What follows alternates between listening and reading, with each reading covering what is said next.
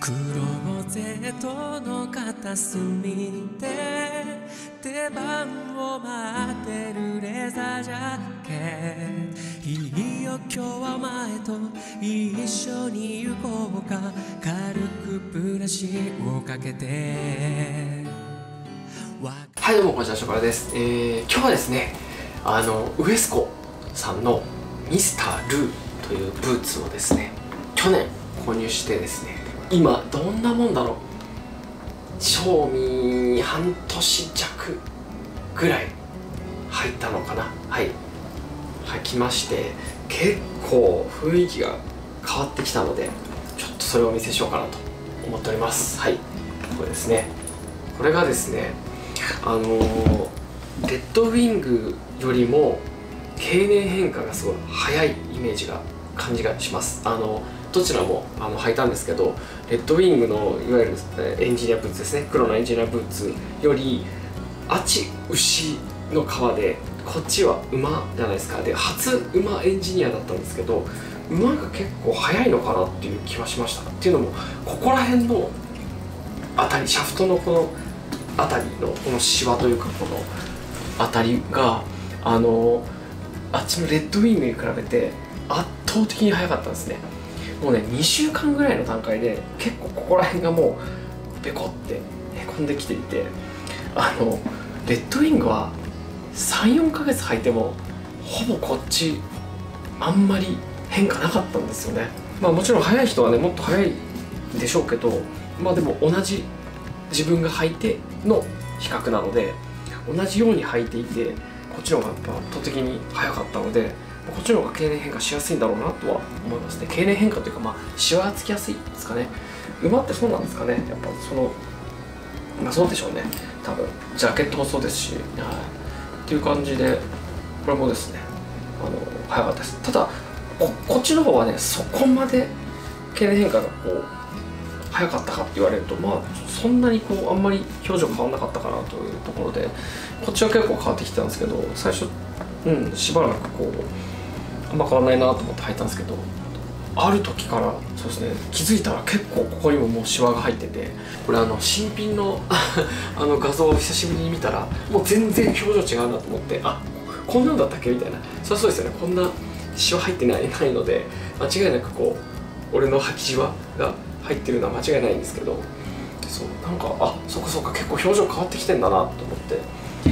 なかなか毎日履いてるとこう気づきにくいじゃないですか。表情がちょっとずつ変化してってるんで。ここもねだんだん上がってきてるんですよね。この感じがね。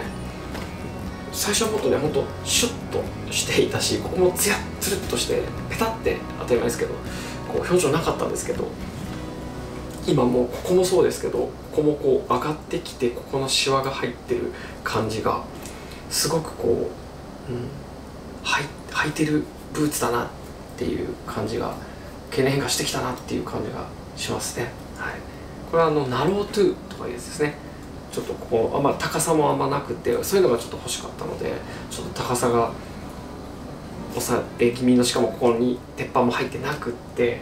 ちょっとこう1930年代40年代くらいのあのオールドな感じの形のしたエンジニアブーツが欲しかったのですごく良かったんですよね、結構理想通りというか、はい、でおそらく茶芯なんですね。なんでちょっとね茶が出てきてる部分があります。あとこれはほぼメンテナンスしてないので今も撮影前にちょっと磨こうかなってちょっと思ったんですけど結構まあいつでも逆に言えば磨けちゃうんで今このはそうですね履いた半年弱履いたこの生の感覚感じをそのまま見てもらった方がまあ面白いかなと思ってあえて何もしてないです本当にノーほぼノーメンテたまにまあちょっとほこり落とすぐらいでブラッシングぐらいは本当たまにしましたけどでも本当34回ぐらいじゃないかなと思います。やってても。なのでほぼノーメンテに近いあのワックス塗ったりとかも一切やってないので完全そういう意味ではそっちはノーメンテぐらいですかね、はい、結構この辺も出てきます。で履いててすごい思ったのはこのちょっと一回履きます着替え中。この履いた時にこのズボンのこの裾がここにすごいやっぱ当たるじゃないですか。履いてると。なのでここがすごいね磨かれるんだと思うんですよね。ここだけツヤツヤなんですよ。テリテリなんですよね。はい。ここら辺のトゥーのあたりとか他の部分は結構マットな感じに汚れ汚れというかまあ経年してって皮は言ってたんですけどここのベルトのあたりというかこの裾が擦れる部分だけは多分その裾に擦れまくってツヤツヤだったんですよね。だからこう履くと履いてね上から見るとそこだけなんか照りがいいなっていう感じなんですよね。だからやっぱこう擦れて自然にそうなっていくのもまた面白いなと思いましたね。はい。ちょっとじゃあ角度変えてみます。はいこんな感じですね。履いた感じはこんな感じです。あのレッドウィングよりもちょっとその何ていうんですかねサイズが0.5大きくしたんですね。なんでその分だと思いますけどやっぱちょっとねトゥーがトゥーがというかこの部分が長くなってますね。ここがレッドウィングの方がねもうちょっとこう短いですねここは。はい。なんでなんだろうな太いパンツを履いた時もちゃんと隠れず見えてくれる部分が多いので、まあ、このこういう感じにした時にレッドウィングだともっとね短いんでちょっとね足がちっちゃく見えてちょっとさあのバランスが悪いなって思うとこもあるんですけどこいつはその分ちゃんとちゃんと長いのであのバランス的にはね悪くないんですよね。なんかエンジニアブーツを履いてるなっていう感じがします。ちゃんと、あの昔は本当サイズをあえてその俺25.5なんですけどもう7.5とかあの7センチぐらいの結構もう本当2センチオーバーとかのやつを、まあ、結構皆さんやってると思いますけど買ってあのちょっとこう存在感を出すというかもうエンジニアブザいてますみたいなやってたんですけどまあ重いし歩きにくいし中敷き3枚ぐらい入れなきゃいけないしとかでなんかね結構疲れちゃうんですよね。で結局それでやめちゃったりとかして手放してってやってたら結局今はもうジャストサイズがいいなんだかんだいいなっていうふうに思ってきたんですけどこれはね中敷きだからレッドウィングとは違って1枚確か入れてるんですね。1枚入れてまあなんとかこうサイズ的にはちょっとゆとりがあるけどまあギリジャストみたいな。ところで、えー、まあそれで見え方的には満点に近いんで個人的にはすごく納得してる感じですね、はい、これでちょっと出過ぎ大きすぎるとかちょっとそれでもまだちっちゃいってなるとちょっとうんって感じなんですけど中敷き1枚入れてこの見え方このサイズ感なら全然すごくありだなっていう感じですね。だからレッドウィングよりも履いてるあっちよりもちょっと太いパンツでちょっとバランスがもっとちゃんと見せたい時はこっちの方がいいかなっていう感じですね、はい。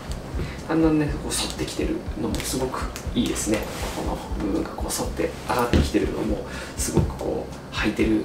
経年変化してきてるエンジニアブーツっていう感じがしてすごく好きですね、はい、まあまだまだまだまだこれからのブーツなのでもっともっと履いてね成長させていきたいなと思いますけれども。はい。着替え中。はい。というわけでね今日はこちらのミスター・ルーですね、はい、ウエスコのミスター・ルー半年弱ぐらいの、えー、着用の、えー、経年変化を見ていただきました。はい。まあ実際どのくらいというかちょっとね本当測ってないんで分かんないですけどまあ多分そのくらいだろうなというところですね。